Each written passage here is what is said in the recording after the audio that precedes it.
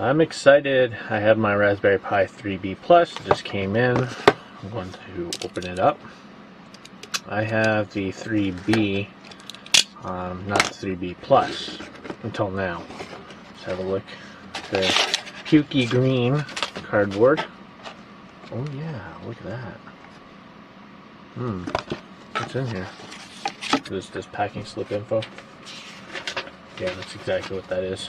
Alright, what's with the box? Hmm. Anyway, let's open it up and check it out. Oh boy, nice and shiny. Mm. Brand spanky new. Oh, weighs a little bit more than the other one does. Nice, nice, nice.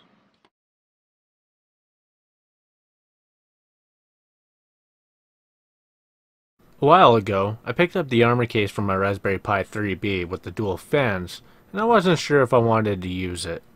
So I picked up another heatsink without the fan so it can be completely passive cooling. On Banggood's website, it said it would work with the 3B and 3B Plus version. I was skeptical though. Sure enough, there was a large gap between the Pi processor and the heatsink, even with the thickest piece of thermal tape. The thermal tape isn't even sitting properly flush with the processor and the heatsink on top. Let's see if I can bring in more light here. But as you can see, that's as best as I can get it right now. I'm trying to hold it steady. It's not worth getting this thing for your Raspberry Pi 3B as it's not going to cool it down. So it was unusable until now. Since I have the 3B Plus version of the Pi, I know this will be a great fit.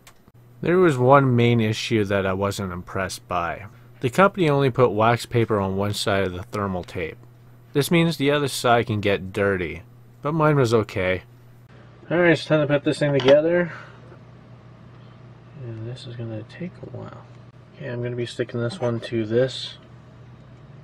I guess that'll look good. Good enough anyway. Okay, to put this one down, I just want to see where it's going to end up.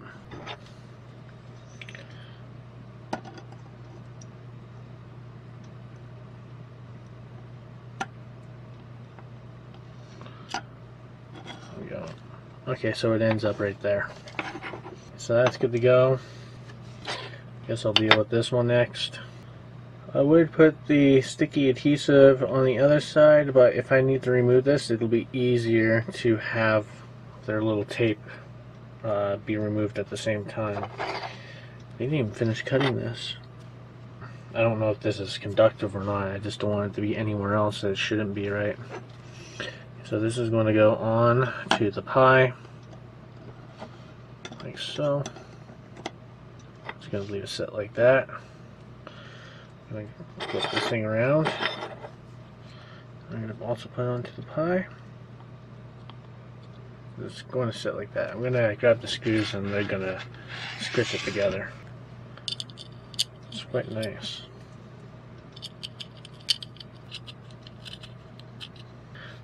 this one, and then this one. That's tight, that's tight, and that's tight. There we go. So now the Pi is locked into that case. I'm going to uh, look through the cracks. I just want to make sure that there's no gaps in between the processor or anything. That way it's actually going to send a proper heat connection to the case. Wow, I'm actually impressed. That looks pretty great. A good case to keep the Pi cool and keep it protected. So I'm going to play some games, browse the internet, and we'll see what type of temperatures I get while playing around with the Pi for a bit. Okay, so it's that time to actually test this thing. And what I'm going to do is I'm going to load up the desktop. I'm going to look at the uh, Wi-Fi, which I already know that it's missing one bar. Um, it is on my phone and the iPod as well. So it, the Wi-Fi seems to be just fine where I'm at. Um, I would like to use my range booster, which shows its full bars, but it says it's 5G, and for some reason this thing won't connect to it whatsoever. So I'm going to play Speed Punks for the PlayStation uh, 1. And then after that, I'm going to do a little bit of searching on the internet and see what the temperatures are there. And then after that, I'm probably going to stress test this thing for five minutes, uh, see what the temperatures are like. Alright, it's just loading up here. I did add a Bluetooth um, manager tool. Uh, this is pretty much a clean um, image from RetroPie themselves. I added the desktop, uh, just DOSBox, and that's pretty much it, and just a couple of ROMs. So it's fairly fairly new. Nothing's really been done with it yet. So I'm using my re keypad to navigate around. So let's go to ports first and go to the desktop. Uh, the top right hand corner will show the CPU usage and also the temperature in green. It says it's 32, so that's actually fairly good. So I'm just going to exit out of here. We know it's 32. Let's go to PlayStation. Speedpunks. Yeah, Terminate. Use Cogsworth here. And I'm just going to do easy. I love this game. Alright.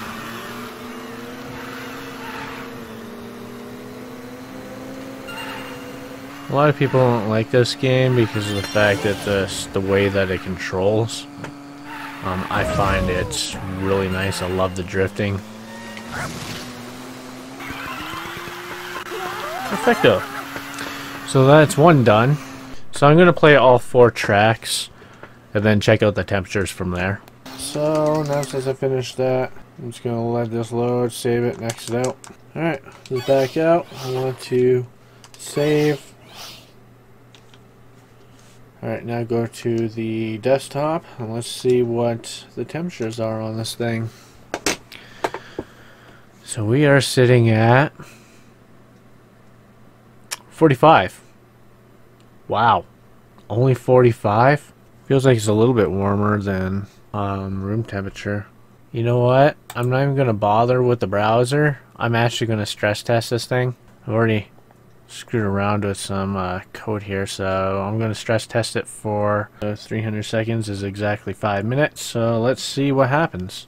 So I'm just going to leave it like this for 5 minutes and then go from there.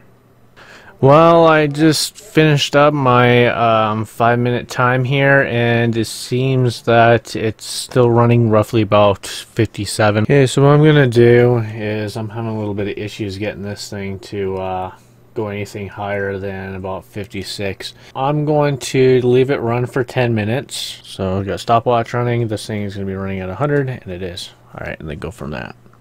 Well, uh, it's 442 in to this so far, and it's sitting at 58 degrees. It's slowly going up to 60. Well, I am now 7 minutes in, and it's at 59 to 58. It won't go any higher than that so far.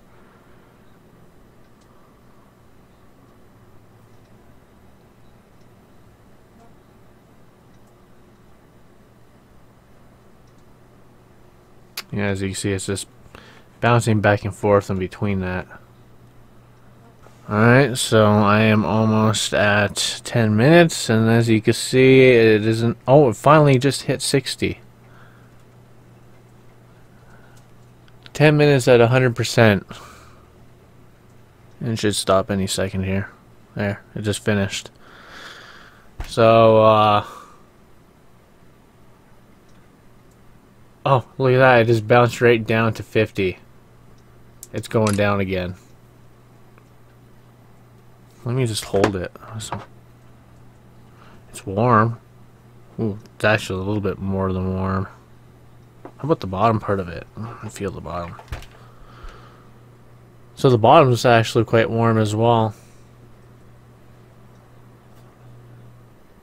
That's a good heat sink. Look at that, it's down to 49 because I'm holding it. What happens if I just put a little bit of air on it?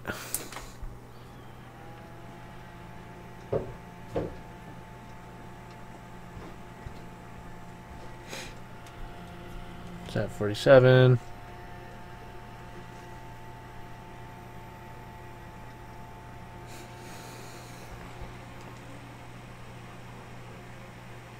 Forty-six. Okay, well, I gotta admit, this is a really, really nice case, and I recommend it. I really do. Nice and solid It's not affecting the Pi. Wow. So I was in the middle of editing and I forgot to move my camera. So I was in the middle of uh, showing the Wi-Fi, but it was hidden all behind the camera. So let's just move you out of the way first. And then, there we go. Now you're out of the way. I can actually now show off the Wi-Fi.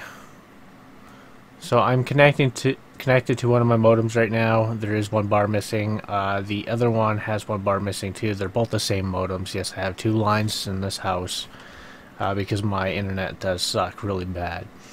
I do have a Wi-Fi booster. Um, for some reason it won't connect to it, period. I have no idea. But um, I guess maybe the Raspberry Pi just can't connect to 5G booster. I don't even know if it's even 5G. It just says it's 5G here. I don't know, something that Telus gave me for free, and it seems to work pretty good, but not for the Pi. Um, for my mobile devices, um, also my internet is um, has lost one bar. So let's just open up the browser here. I'm going to go to a slow website, I guess MSN, msn.com. It's probably going to go to Canada version. Yep, .ca. And that actually loaded fairly quick. That's not bad at all. Okay, so I'm going to shut down the Pi. And I guess I'm going to take one of my monitors out here and I'm going to stick it in the shed. I'm going to take the Pi with me. Because I know with the other Raspberry Pi here, when I had this thing in the shed, I was doing a battery bank test for the Pocket Juice um, I literally had no signal whatsoever, and I was barely able to even get to the internet. I'd be lucky if I had it for a couple of seconds. So, with this armor case on on the 3B Plus, and if it gets internet out there, that's pretty amazing.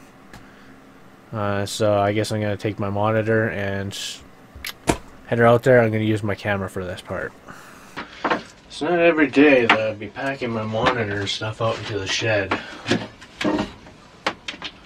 just to test the Raspberry Pi 3B Plus actually has Wi-Fi with this heat sink. oh boy. Alright, let's have a look at my Wi-Fi. Right now it is showing that I have one bar. If we actually click on it here. Uh, one bar, one bar and my range booster is missing only one bar. Oh yeah, actually the internet's all going back up to two bars. Hmm. Alright, anyway, let's see. Does this thing will load Google. Google.com. Enter.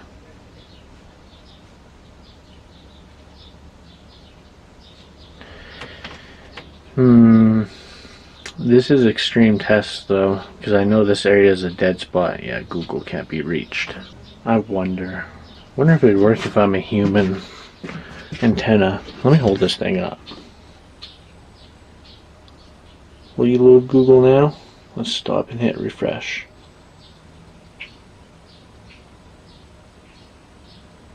Being a human antenna gonna work? It's just spinning. Okay. Move it out just past the camera a bit. We got Google. Well, definitely got a dog barking out here. Refresh. Come on. You can do it. I believe in you.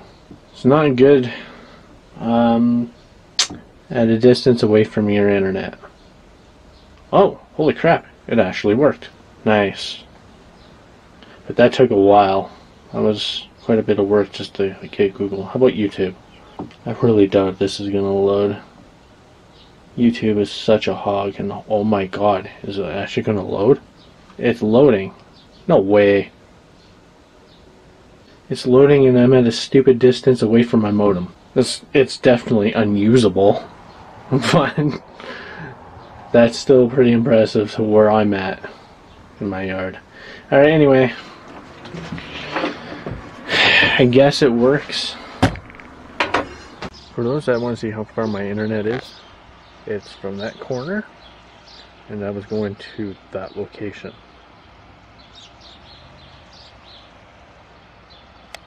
Now with the case and the Raspberry Pi 3B Plus, they both weigh at 154 grams. That's 0.33 pounds. I can even fit the Raspberry Pi back into its box for when I don't want to use it. Overall, I'm impressed. I recommend this heatsink. I'll give it 8 out of 10. The reason being is the thermal tape problem. I do not recommend it for the Raspberry Pi 3B, just the 3B Plus. If you do have the Raspberry Pi 3B, I recommend getting the armor case with the dual fans. Use that one. I hope you liked the video. Please do rate subscribe, and I'll see you on the next one.